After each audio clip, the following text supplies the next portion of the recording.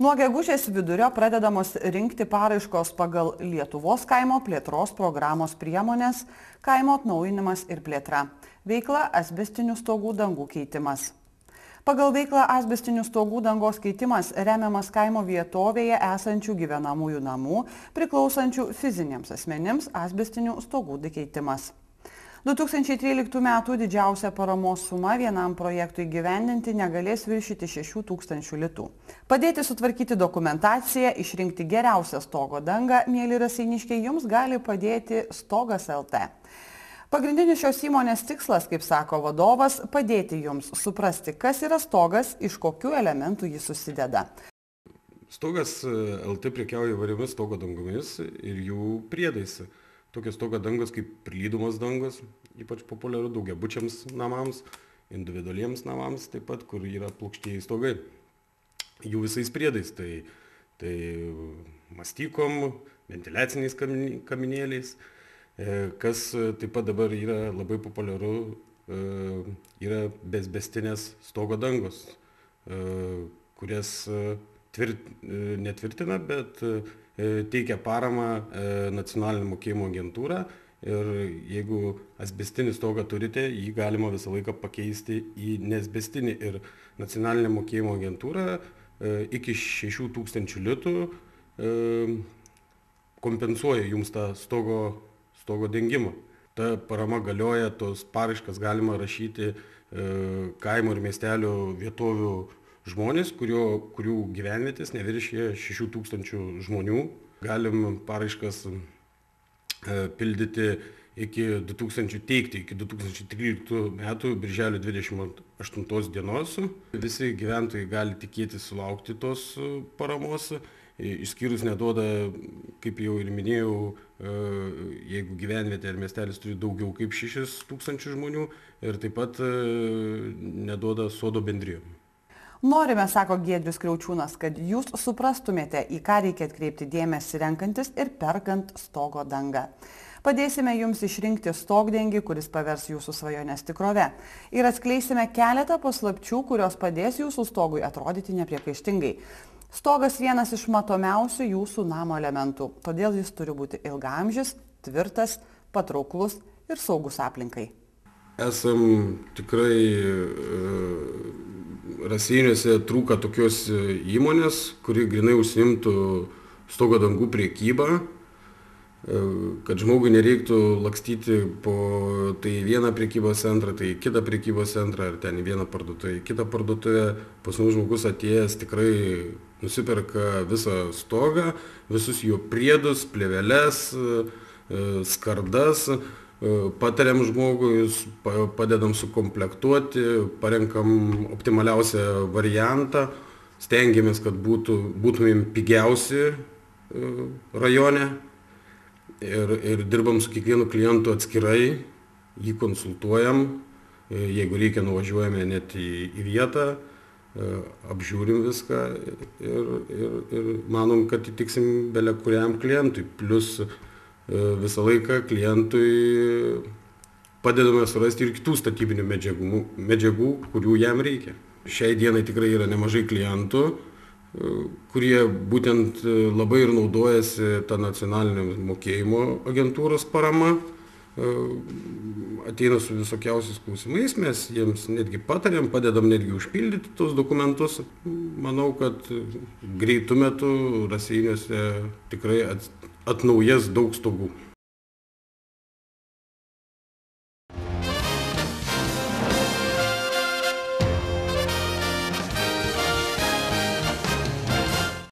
Sveiki, jūsų dėmesį informacinė laida Mūsų savaitė. Ir štai tokius svarbiausius savaitės įvykius apžvelgsime šį kartą. Šią savaitę paminėtas Lietuvos sąjūdžio 25 metis. Naujoji vicemerė pasidalino įspūdžiais apie pirmąją darbo savaitę kaip apsisaugoti nuo odų įgėlimų ir ką daryti jiems įkandus. Daugiavaikiai mamai įteiktas ordino už nuopelnus Lietuvai medalis. Atnaujinamų daugiabučių namų gyventojai susipažino su modernizavimo programa. Raseinių policijos pareigūnai per praėjusią savaitę pradėjo 16 iki teisminių tyrimų. Prieš 25 metus įsikūrus sąjūdžiui per visą Lietuvą nuvilnijo tūkstantiniai mitingai, ekologiniai protestai, roko maršai. Suplėvė savo trispalvės ir vis garsiau suskambo žodžiai laisvė Lietuvai. Šis troškimas buvo gyventintas istorinėje kovo 11-osios salėje Lietuvos Respublikos Seime. Birželio 4 dieną Raseinių krašto istorijos muziejuje buvo iškilmingai paminėta Lietuvos persitvarkymo sąjūdžio 25 metų sukaktis. Minėjimo metu pristatyta paroda simboliškų pavadinimų Atgyjo širdys. Rajono meras atminimo ženklus įteikė 11 Raseinių sąjūdžio iniciatyvinės grupės narių. Kokie vakarykščiai įspūdžiai iš e, Vilniuje surinktos šventės? Nu, įspūdžiai normalus. Vakar susitikom seni sąjungininkai, tikri sąjudiečiai. Buvo keletą kalbų, Seime gerų pakalnio sąjūdžio jaunos moters iš Rokiškio, kur iškėlė problemas, kaip tuštėja Lietuva. Pakalnis iškėlė lietuvių kalbos klausimą, žemės pardavimą klausimą užsieniečiam. Ir, ir daug, daug ten skaudžių klausimų ir ten auditorija, seni sąjungininkai nesurežisuotai ploja. Tai mokslo akademijoje buvo Radžvilo pranešimas ir Gudaičio rašytojo pranešimas, kurie jie geri ir, ir sąjūdžio pirmeiviai masto, kad kažką dar reikia daryti, negalima leisti, kad Lietuva taip važiuotų, vis tik tai mūsų opozicinės partijos nėra stiprios ir susikompromitavusios, negali, neturi autoriteto žmonių tarpė. Ir visi mato, kad kažką reikia daryti ir rudenį kažkas formuosis, daug dievė, kad pavyktų kad pavyktų būtų lyderis, kadangi aš buvęs sąjūdžio atsakingas sekretorius, vakar susitikime kavinė su sąjūdžio iniciatyvinės grupės nariais, sakau, jūs, jūs duokit mums programą, būkit vėliava, mes sąjūdžio juodadarbiai dar net pratom dirbti, mes mokam organizuoti, leisti laikraščius ir ginti, jeigu reikia Lietuvą, kaip 91 metais. Tai Radžiulas pasakė, mes duosim jums vėliavą. Dabar truputėlį, jeigu grįžtume 25 metais atgal, sakykite, pirmieji žingsniai galbūt, kaip jūs pats įsitraukėte į šitą veiklą? Nu, man nebuvo klausimų, jis, jis, klausimų, kur aš turiu būti. Aš, mano tėvas kalintas, mano tėvo brolis partizanas žuvęs Varkutojo, mano tėvo pusbrolis partizanas, mano tėvo dėdis kalinys, visi iš Girkalnė kliunkai, visi palaidoti, visi dalyvavo disidentinėje veikloje ir mes buvau užprogramuotas ir su pirmom sąjūdžio dienom buvom, ne, nekilo klausimą, kur aš turiu būti, pasisiuvau vėliavą ir pradėjau lakstyti. Tiek lakščiau, kad man žmonės pasiūlė tapti etatiniu darbuotoju raseiniuose, nes reikėjo padėti leisti Dubysą, organizuoti Baltijos akciją ir pradėti rinkimus. Ir mes tuos rinkimus pirmus Šiauliuose su Zigma Vaišvila čia su Kazimieru Motieka laimėjom. Ir tada, kaip Lietuva patikėjo, kad ateinantis rinkimai 90 metais bus sąjūdžio pergalė ir neišvengiamai buvo klausimas, kada mes skelbsim nepriklausomybę. Tik laiko klausimas buvo. Bet kaip aš minėjau, paskelbti mažą, bet reikėjo apginti. Tai iš karto kovo 11 mes pradėjom organizuoti, rinkti savanorius. Aš šiauliuosi apie 200 vyrų užsirašė savanoriais. Raseiniuose buvo 30 vyrų pas manęs būrys. Su Jurbarka vyrai, su Tauragės kelmės mes gynėm aukščiausią tarybą ir dabar susitinkam. Aš esu aukščiausių du e, savanorių kurių sąjungos centro valdybos narys. Jeigu stebit, mes laimėjom neseniai teismų proceso maratoną prieš Algirdą Paleckį, kuris šmeižė, kad mes savy savus ta kova nesibaigė ir kas penki metai aš stengiuosi, kad mes Baltijos kelią paminėtumėm, kad raseiniškių surinkti čia kas penki metai, kaip ir prieš penkis metus ties Vedeckė žolynų ir Leonas Laurinskas dalyvavo.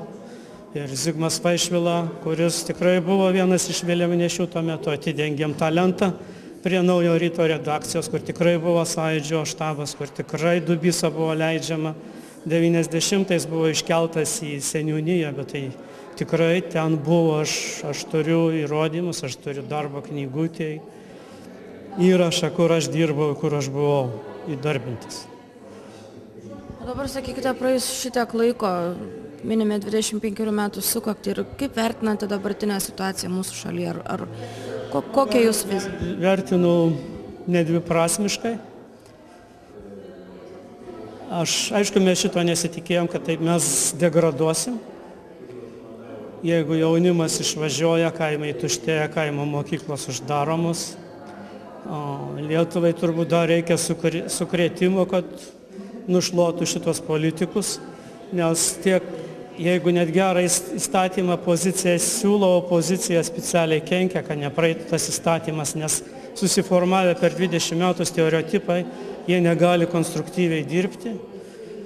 Mes 88 turėjom pusantro tūkstančio laivų, atominę elektrinę turėjom, mažeikius turėjom, laivyno neturim, atominę uždarėm dėl to, kad įstotumėm į Europos Sąjungą, nors buvo nuspręsta, kad mes įstosim. Mažeikius valdo valstybinė Lenkų įmonė, mes nesugebam. Tai rodo, koks korupcijos lygis.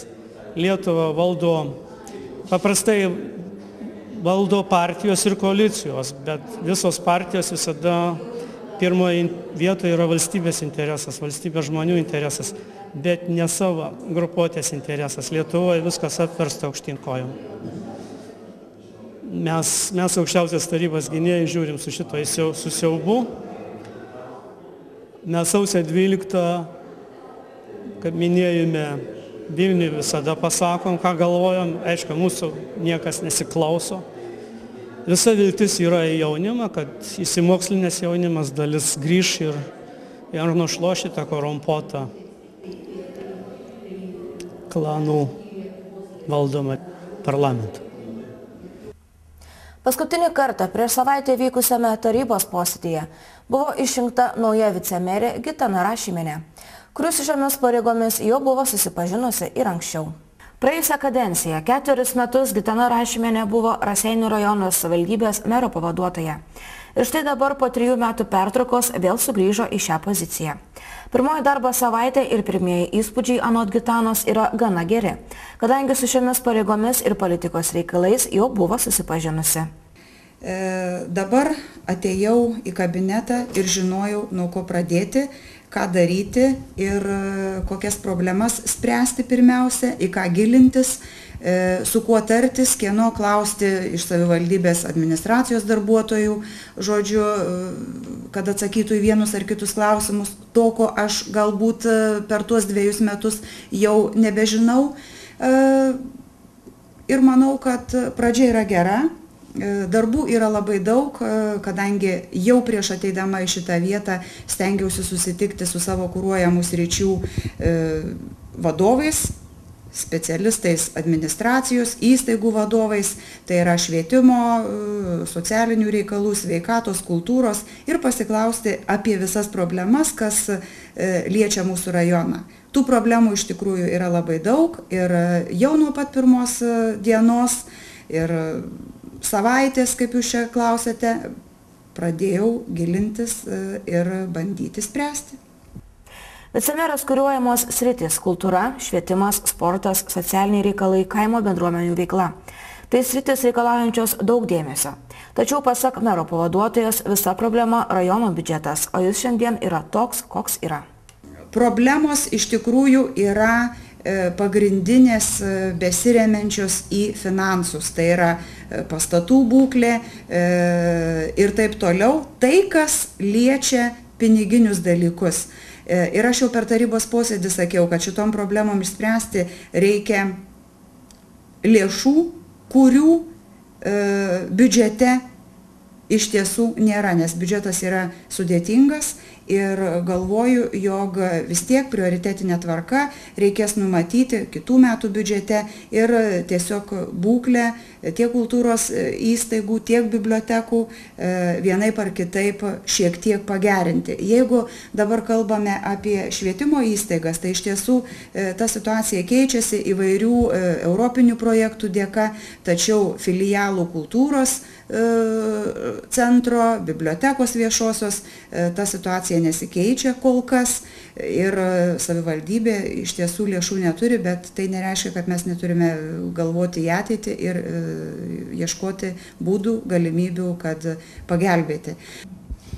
Sakykite, kaip, kaip vertinate prieš, prieš jūs buvusio vicemero Sigito Vaičiaus darbą? Oi, e, niekada e, nieko nevertinu nei teigiamai, nei neigiamai, kadangi kartu e, čia dirbti neteko, tačiau tose darbo grupėse, kuriuose aš dirbau kartu su vicemeru, tai esu iš tikrųjų jo darbu kaip ir patenkinta. Bet tai nuotrupos iš to, kiek mums teko dirbti kartu. O, o šiaip manau, jog tokius dalykus turėtų vertinti rajono gyventojai ir atsiliepti teigiamai ar neigiamai apie pokyčius rajone. Na ir pabaigai tiesiog, kaip sekasi bendradarbiauti su, su meru, savivaldybės, su administracija, kaip kolektyvas, kaip sekasi priimti sprendimus, ar sutarėte ir panašiai. Manau, kad pati pradžia ir susirinkimai, kiek mes čia jų turėjome su savivaldybės administracija, nuteikia optimistiniam darbui ir su meru, ir su administracijos darbuotojais, ir su mero tarnybos kitais žmonėmis. E, viskas yra ko gero gerai. Einame į priekį, e, kol kas gilinamės į situaciją, bandome vieni su kitais susiprasti ir dirbti rajono labui. 102 metus skaičiuojančiai rasiniškiai. Šią savaitę įtiktas valstybinis apdovanojimas ordino už nuopelnus Lietuvai medalis. Stasė Kenstavičinė, viduklės geležinkelio stotyje gyvenanti ir jau 102 metus skaičiuojanti daugiavaikė mama. Išauginusi net 9 vaikus, turinti 14 anūkų, 38 pronukius bei 6 propronukius. Susirinkome iš ties e, proga, sakyčiau, ypatinga nes mamai motinos diena, dienos proga buvo skirtas mūsų prezidentės Grybauskaitės apdovanojimas už nuopelnus Lietuvai medalis. Šis medalis yra skiriamos motinoms, kurios pagimdė ir išaugino daugiau nei septynis vaikus. Mūsų mama pagimdė dešimt vaikų, išaugino devynis vaikus. Tai ta proga ir šiandieną susirinkome priimti svečius iš prezidentūros, nes kada buvo įteikiamas šitas garbingas apdovanojimas, mamos veikata buvo tikrai nelabai kokia ir mes negalėjome į Vilnių nuvykti. Labai džiaugiamės, kad atvažiuoja į namus, kad galime daugiau žmonių čia būti kartu, kada mamai bus įteiktas iš ties tas apdovanojimas, kuris aš matau yra labai vertingas ne tik mamai, bet ir mūsų šeimai mūsų šeima yra vieninga, visi darbštus, visi dirba ir tai turbūt įkvėpia. Mes didelį meilę mamai, mama didelį meilę vaikams ir, ir anukams, pronukams, propronukams. Čia turbūt yra didžiausias sesers nuopelnas, kadangi kartu su mama būna šitos namuose. Matot, čia ir namučiai, jos teka sutvarkyti gerai, ir aplinka. Turbūt čia ir labai mamas, pasakyčiau, noras gyventi. Be galo didelis noras. Tai mes visi čia lankomės, visi būnam kartu. Tai ir suteikia ir mamai didelį stiprybę gyventi noras toliau. E, pasidomėjau iš mūsų didelės šeimos šiuo metu yra likusių mūsų tarpė septyni, mes esame vaikai, iš 17 anūkų 14 esame, yra, gyvena dabar, 38 pronūkiai ir šeši propronūkiai. Paskaičiavau, kad visą savo darbinę veiklą septyni iš mūsų skyrė Raseinių rajonui. E, septyni anūkai taip pat nuoširdžiai triūsė, gal net daugiau, Raseinių rajone. Jau ir pronūkiai tą veiklą vykdo tai aš manyčiau kad rajono dėmesys irgi turi būti na tokiem garbiem žmonėm kurie iš tikrųjų savo gyvenimą savo veiklą susieja su rajonu aš nekalbu vien apie mamą aš kalbu apie visus žmones kurie iš tikrųjų tam rajonui e, duoda mm, įvairiapusę naudą, sakyčiau. Čia ir žmonės gyvena, ir savo šeimas kuria, o taip pat ir kažkokį tai atneša naudą šitam rajonui, šitai bendruomeniai.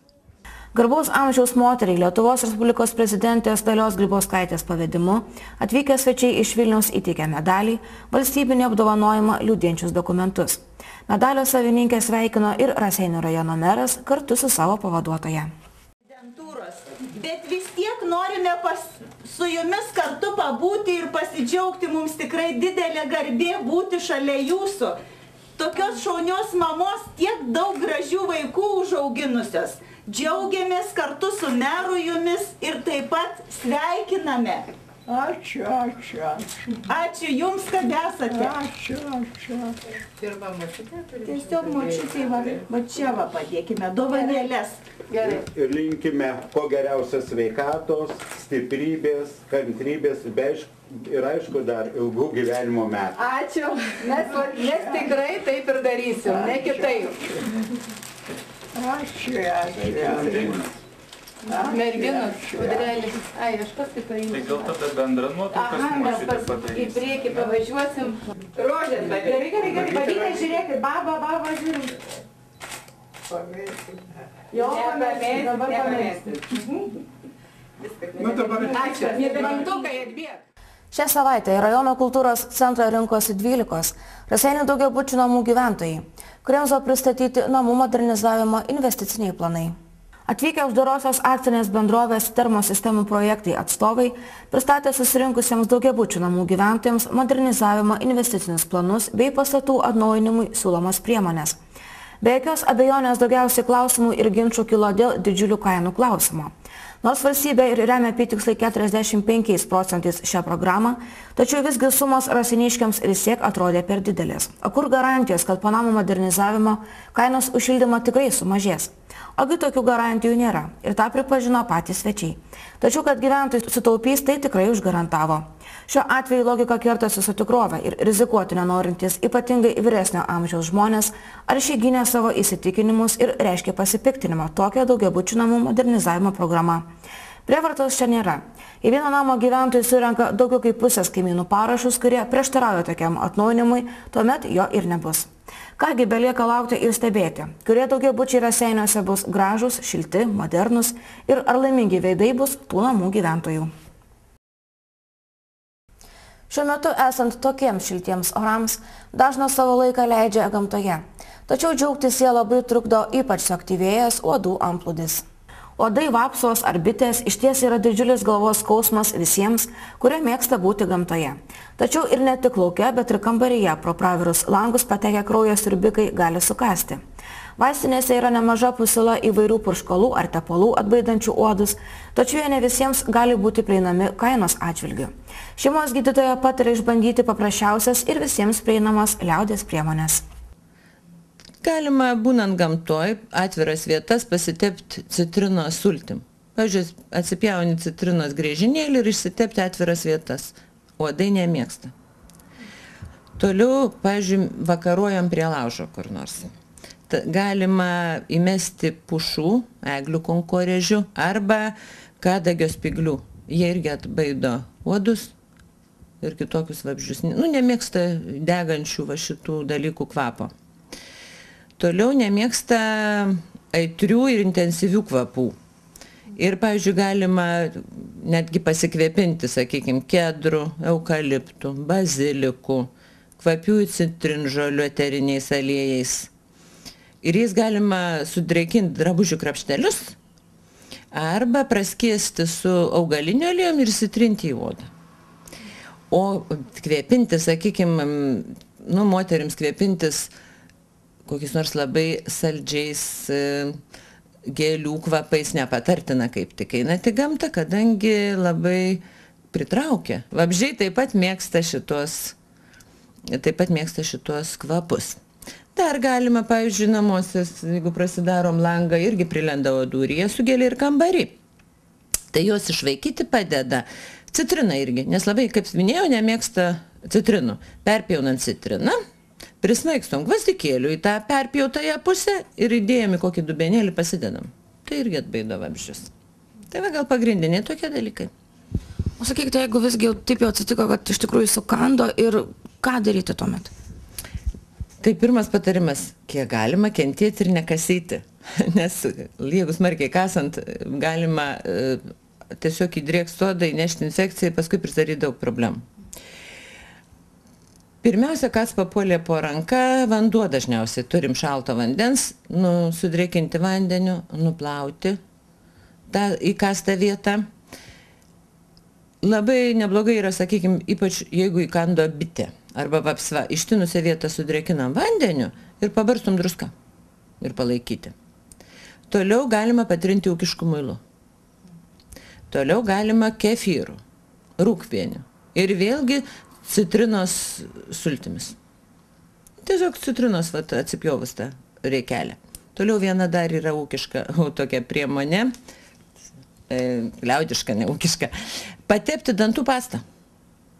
Taip pat yra efektyvu, jinai mažina ir skausmą, ir niežulį. Toliau galima svagūnų patrinti.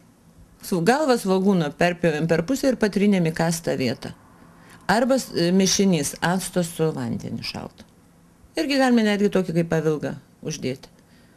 Toliau yra vaistinėse tepaliukai. Tai jeigu jau įkando smarkiai ir gavos kokia ten paraudimas didelis ar kas, tai jau ten pačiam geriau nesigydyti. Čia šitos visos priemonės, tai jos yra greitai, ką tik įkandus pradėjus nešėti, bet jeigu jau, nes gali būti tiesiog alerginė reakcija tai gali didžiulis raud, iškilt kažkoks raudonumas, gali niežulys, o gali net ir iki dusulio, sakykime, kai jo alergija, tai tada nėra ko laukti, jau reikia gydytojo. Trim studentams iš Raseinių kilo mintis sukurti filmą apie Raseinių kraštą. Tik kol kas dar nėra apsispręsta ties kokią idėją pasilikti. Sutikime, jog filmo apie Raseinių kraštą mes neturime.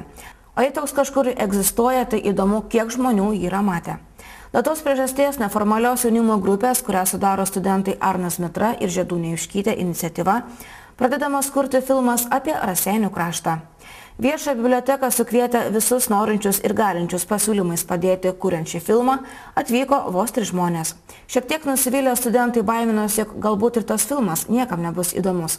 O tokia mintis juk reikalauja labai daug pastangų. Į susitikimą atvykę jaunuoliai jau turėjo savo viziją bei mintį, koks turėtų būti šis filmas. Po susirinkimo jau pakeitė savo nuomonę. Kadangi išgirdo nemažai puikių idėjų iš mūsų krašto istorijos ekspertų - Jono Brigio bei Jono Janošo. Tai dabar dar reikia sudėlioti viską į savo vėžes ir kipti į darbus. Filmas apie Raseinių kraštą, Arnai, sakyk, kaip kilo pačiam tokia idėja? Tiesiog besidomint apie raseinius ir ieškant informacijos, tai vis daug knygų, daug laikrašiuose informacijos, o tokio vizualinio pateikimo net nėra nei nuotraukose labai daug kažkokių tai parodų, nei filmo, o filmas vis dėlto gundo, ko gero šiais laikais vaizdinė medžiaga pateikta, tai daug aktualiau dabartiniam ir jaunimui, ir, ir šiaip žmonėms, negu kad tai raštu parašyta. Kokios idėjos, kokiamis idėjomis remiesi ir kaip planuoji pateikti vizu, vizualiai šitą dalyką? Nu, tos idėjos tokios dar abstrakčios, o dėl to šiandien ir susirinkom, kad aptarti tas idėjas. Šiek tiek noriu, aišku, istorijos, bet istorijos daug negalima dėti, nes kai kuriem tai sunku suprasti. E, norisi pateikti, kas dabar va, yra raseiniuose, ką galima čia pamatyti, ką galima išvysti, ką čia galima nuveikti, va, tokie visokie įvairūs dalykai. O pasiūlymų kokių sulaukėt šiandieną ir galbūt kokią mintis taip jau užkabino? Nu, pasiūlymai tai įvairūs, šiek tiek gal netgi žvelgti per mentalitetą žmonių, kokie žmonės raseiniuose galbūt žvelgti problemų ir atsakyti tas problemas, kas, kas dabar yra raseiniuose, kodėl žmonės neaktyvus, kodėl nedalyvauja, tai, bet tai sunku būtų perteikti per filmą. Bet svarbiausia, ką, ko gero pasiūlymas geriausias, tai kad mums reikia susirasti vieną mintį ir ant jos libdyti toliau visą filmą. Ir ta mintis dar, ko gero, dar svarstysite, dar nepriejote prie tos vienos. Jo, ta mintis dar svarstytina, nes tikrai sunku greit išsikristalizuoti tą pagrindinę idėją. Kaip planuojate gyvendinti? Vis tiek montažai, filmavimai, kas prisijungia prie grupės? Tai vat, mūsų ta grupė tokia trijų asmenų tai aš vat kaip ir istoriką bandysiu e, vaidinti tam filme, nors tiesa ten bus toks pusiau dokumentinis, Žiedūnė Juškytė tai yra žurnalistiką studijuojanti, tai jai šiek tiek lengviau bus dirbti tuo srity, o Tomas Kelertas, jisai yra taikomosios fotografijos studentas irgi puikiai išmano savo specialybę, fotografuoja, filmuoja, tai va tokia ta žmonių komanda, kuri kur šitą filmą. Ir aišku, mes kviesimės ekspertus ir kas, kas ką išmano, kad, kad papasakotų, parodytų, pasakytų viską. O liekas liečia pinig, pinigėlių klausimą iš savo lėšų viską darys? Uh, ne, pinigėliai yra skirti iš Raseinių rajonų savivaldybės, iš jaunimo reikalų koordinatorės, ten taip galima pasakyti, jau dabar susimaišiau. Jo, nu, pinigėliai yra skirti iš Raseinių rajonų savivaldybės jaunimo reikalų socialinių iniciatyvų fondo, taip berots vadinasi. Tai E, mes gavome 1550 litų. Dar tikimės gal šiek tiek iš remėjų susirasti pinigų, nes tik, greičiausiai reiks šiek tiek ir pakeliauti, pavažinėti, tai, va, tai viskas remiasi į finansus. O sakyk pats filmas, kokia auditorija yra skiriamas ir kokia trukmė? Planuojama trukmė tai iki 45 minučių, ko gero, nes daugiau sukaustyti dėmesį yra labai sunku tuo labiau, kad tai dokumentinis, toks pusiau vaidybinis, tai, tai tikrai bus sunku tai atlikti. O užmiršau, ką klausyti. E, ir, ir pabaigai klausimėlis toks, kad na, šiandien kvietėte, buvo ir skelbimai atvykti, vis, visi, kurie palaiko galbūt idėjas, pasiūlyti susirinko tik tai trys palaikantis, sakyk, nenusvyra kartais rankos, kad taip abejingai yra žiūrima į visą tai, ypač, ypač iš aseniškių kartais tikrai nusvyra, bet atsikeli ir toliau eini darai. Vieną kartą atėjo vienas, kitą kartą atėjo trys, dar kitą kartą ateina daugiau.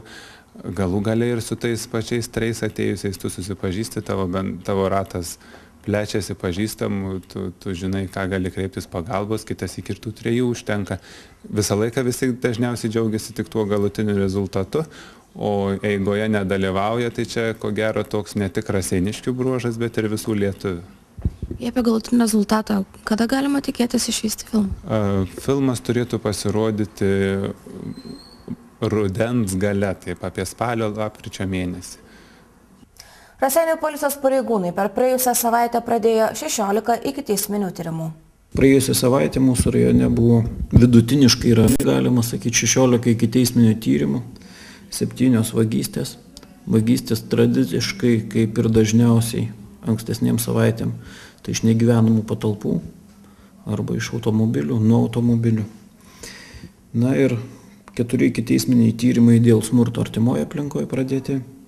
Vienas ikiteisminis tyrimas dėl laikytos naminės degtinės, kur šimtas apie 21,5 litro naminės degtinės iš vienos sodybos Taip pat pradėta iki teisminiai tyrimai dėl turto sugadinimo ir dėl viešosios tvarkos pažeidimo.